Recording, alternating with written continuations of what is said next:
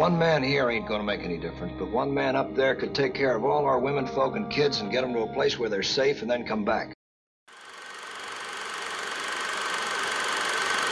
Welcome to today's show. My name is John. As always, you can subscribe to the show on Apple Podcasts or wherever you get your podcasts. Also, there are links to social media in the podcast show notes, and you can also go to classicmovierev.com to read notes, bios, and other random movie thoughts.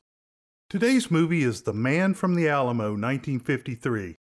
This film has a pretty low rating of 6.5 on imdb.com.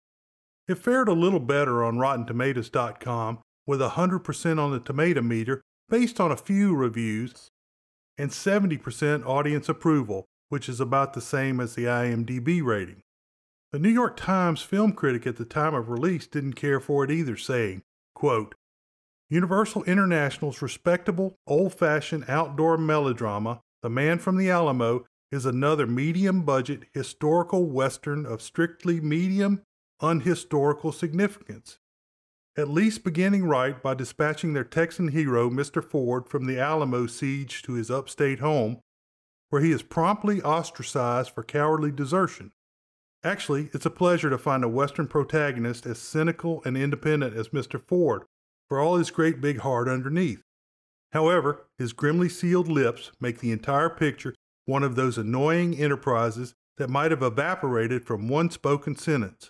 For Mr. Ford is no coward or deserter, you can bet your life, having been delegated by the Alamo Texans to return and safeguard their families.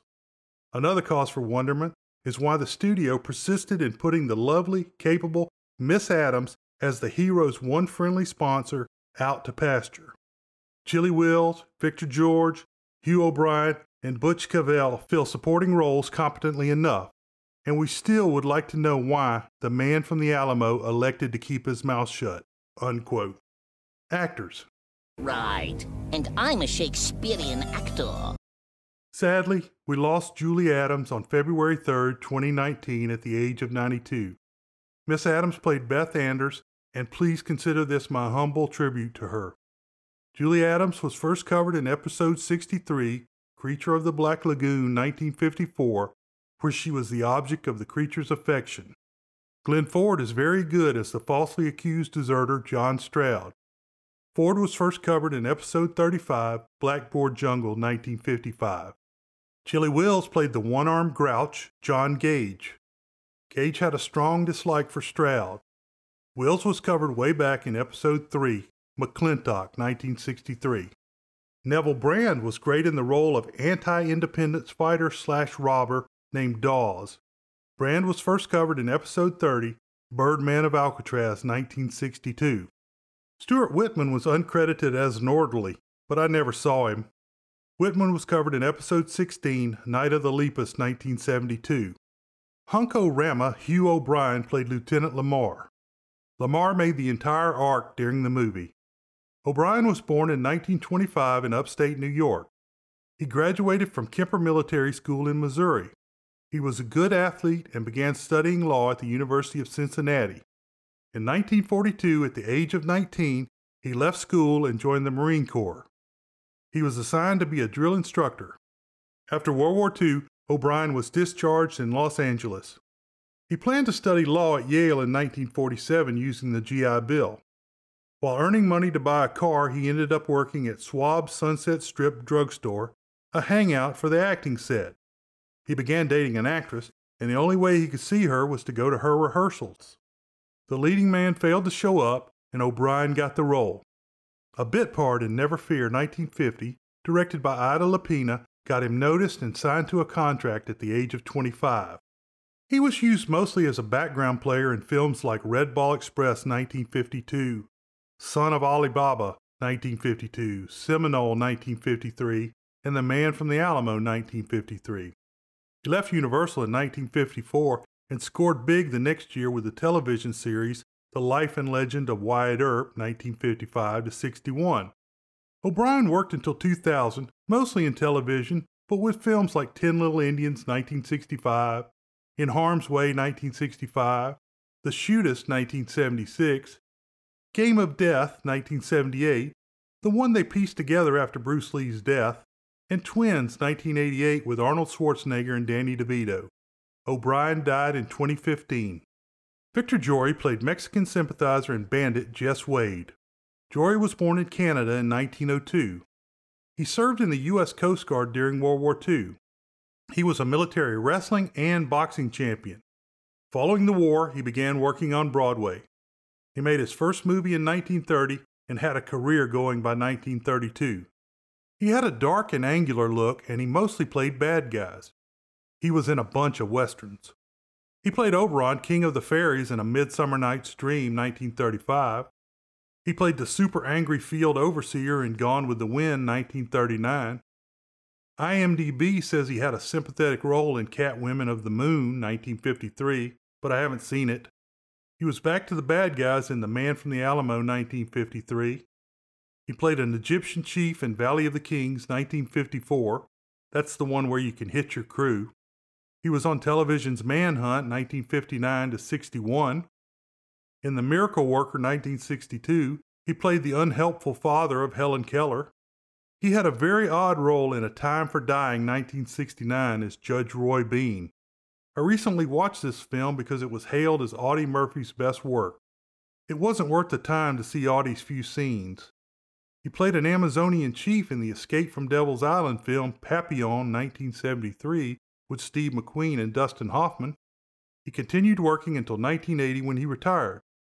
He was the original narrated voice of the Cyclorama in Atlanta, Georgia, until replaced by James Earl Jones. Visit the Cyclorama if you get a chance. I first went there when there was no narration and a lady with a flashlight told the story from memory. Jory died at the age of 79 in 1982. Story Let me explain. No, there is too much. Let me sum up. The movie begins with the Texas apology bit where the nice Anglos are being good Mexican citizens then bad old Santa Anna takes over. Poor old Sam Houston was forced to raise an army and fight for independence. It's more likely slavery was illegal in Mexico and the Anglos living there wanted to make Texas a slave state in the U.S. Rich Anglo Texans are debating fighting Santa Anna for independence. Sam Houston, Howard Negley, comes into the meeting and tells of the battle that is developing in San Antonio at the Alamo Mission. The scene switches to Colonel Travis, Arthur Space, meeting with Jim Bowie, Stuart Randall at the Alamo. Sam is in attendance. They have sent a messenger to Sam Houston asking for help. Reb, Dennis Weaver, comes in to say that a Mexican under a white flag is outside. The soldier gives him the Degüello warning surrender or die, no quarters. Travis fires a cannon as a no answer. Starts a night fight.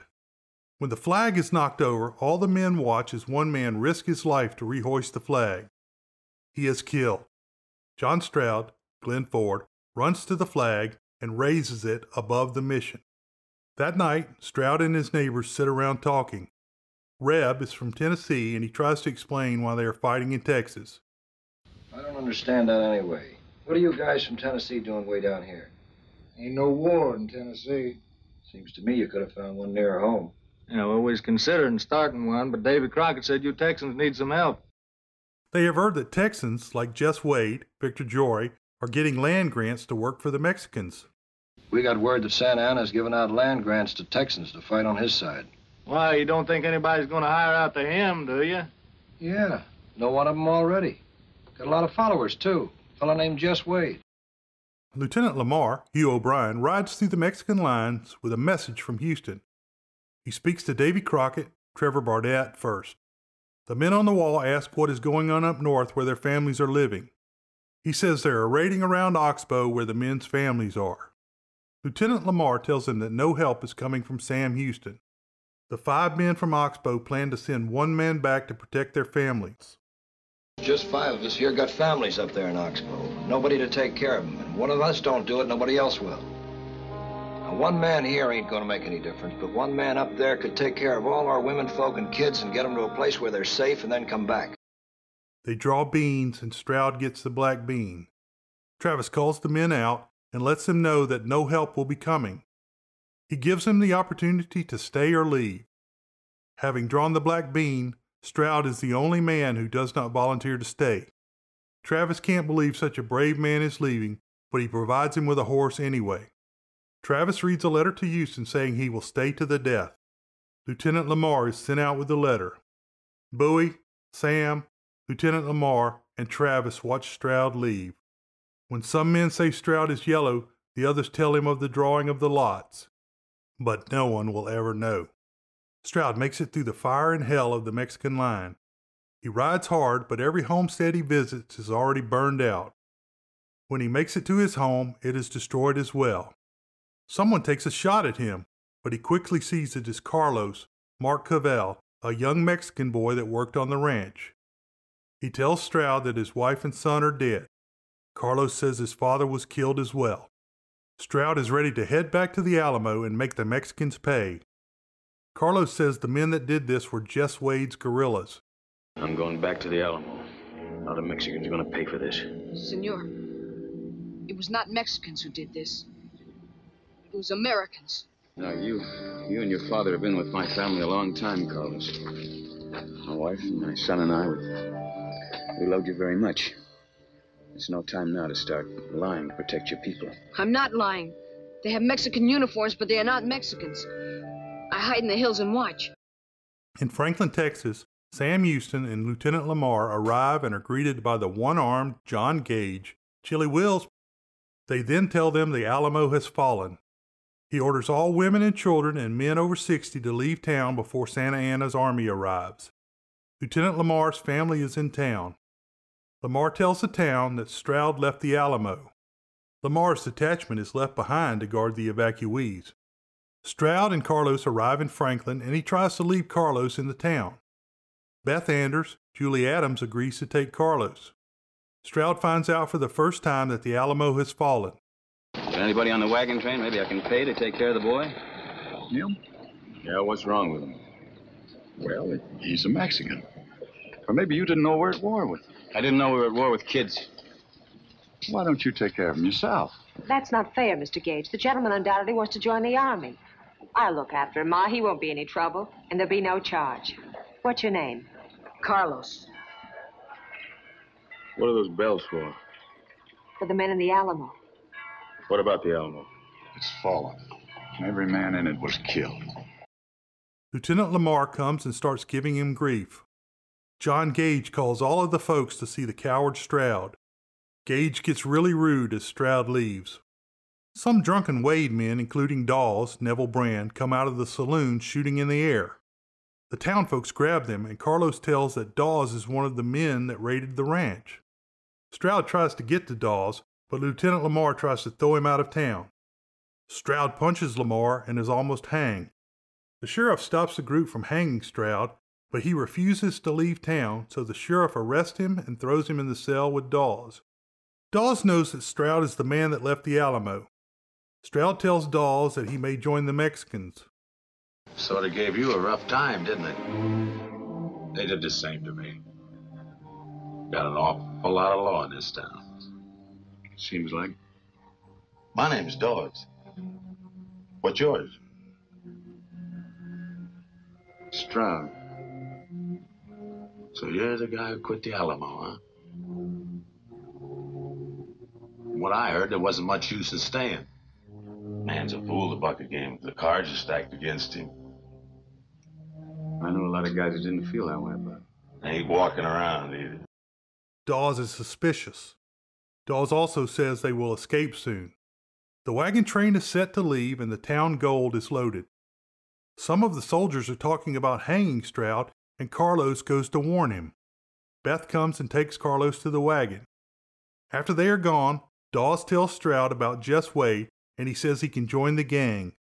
Stroud says he is in. The able bodied men are left behind as the women, many Alamo widows, head out with Lieutenant Lamar's detachment. Beth is kind to Carlos, and he tells her that Stroud left to take care of the families around Oxbow. The men in town have built a barricade in the main street of the town. The talk turns to hanging Stroud. The men storm the jail and drag Stroud outside and put a rope around his neck. At the same time, the Wade gang storms into town. The raid stops the hanging. Dawes and Stroud arm themselves and head out. Stroud thinks for a bit about shooting Dawes.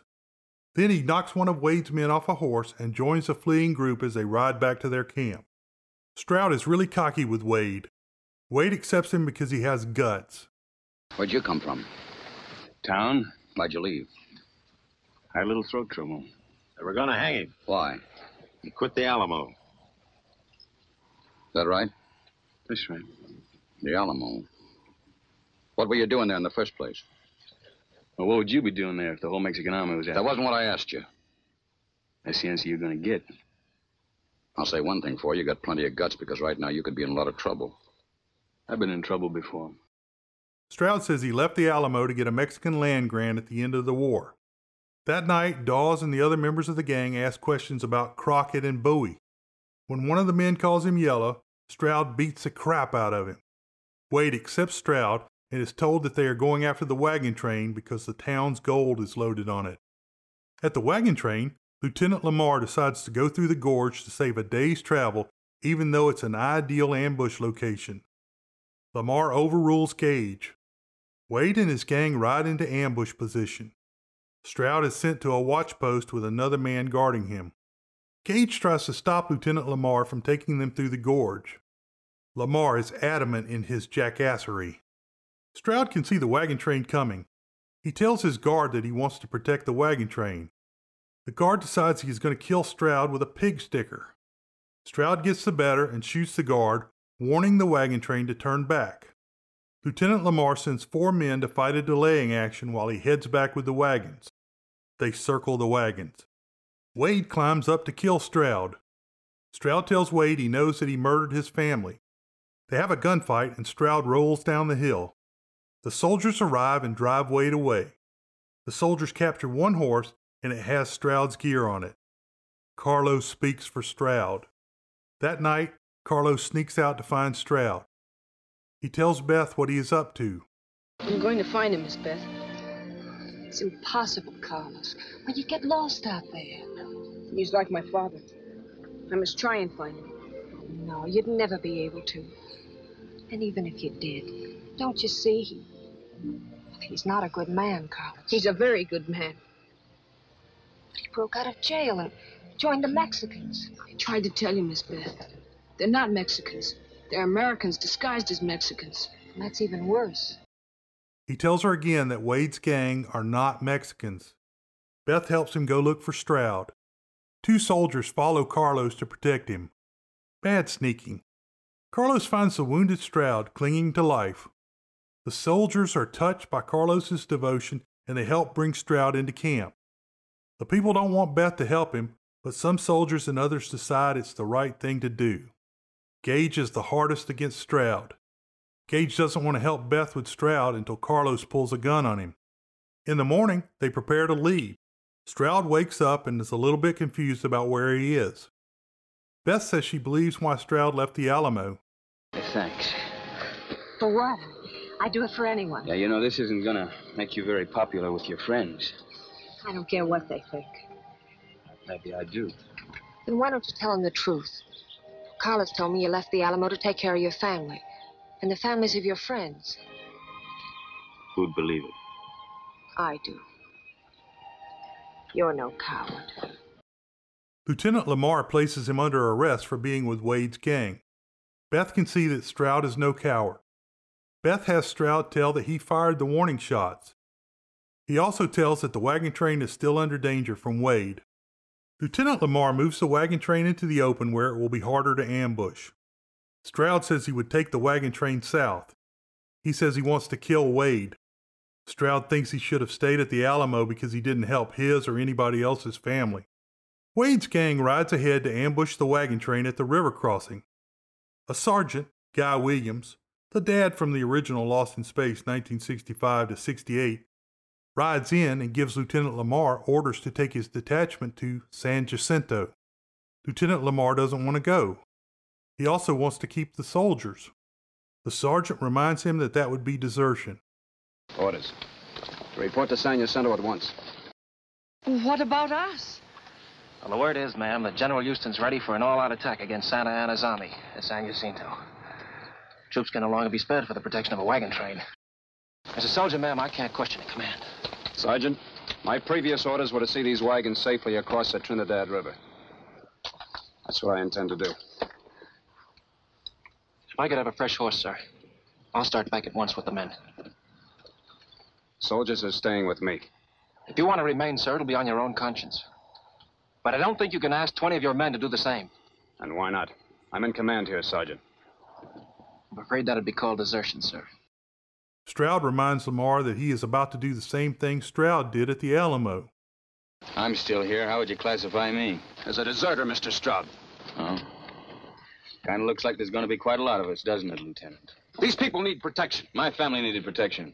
They'll have to be murdered if we leave here. My family was murdered. I'm not only trying to protect my family, I'm trying to protect others as well. Look, if you'd bothered to ask, you'd have found out that's why I left the Alamo. I was trying to do the same thing.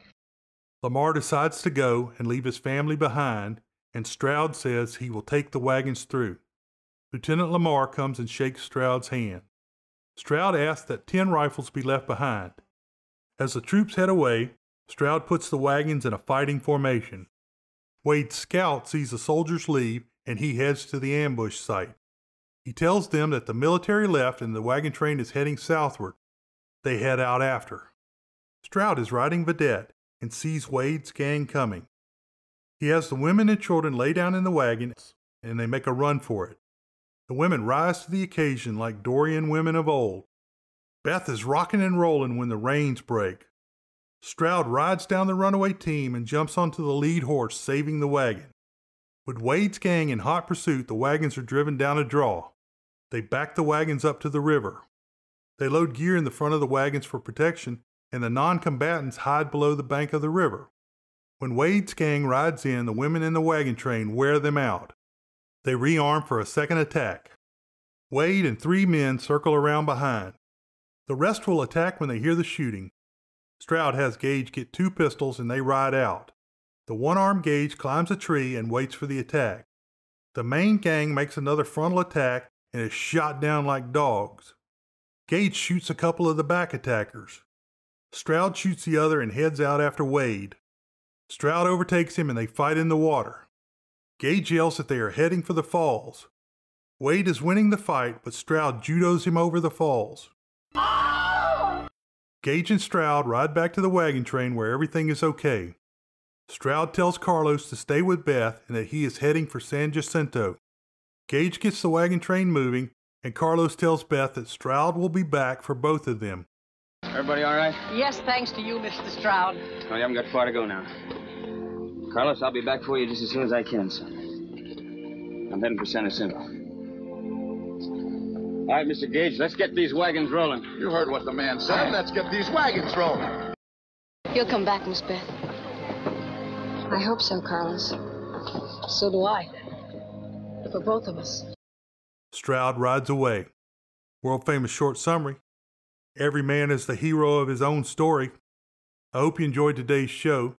I really appreciate you spending the time listening. You can find connections to social media and email on my site at classicmovierev.com. There are links in the podcast show notes as well. This is an independent show, and there is a lot you can do to help out. First, and most importantly, jump over to Apple Podcasts and give me a review. It really helps the show get found. If you want to comment, help, or recommend a movie, email me. Beware the Moors.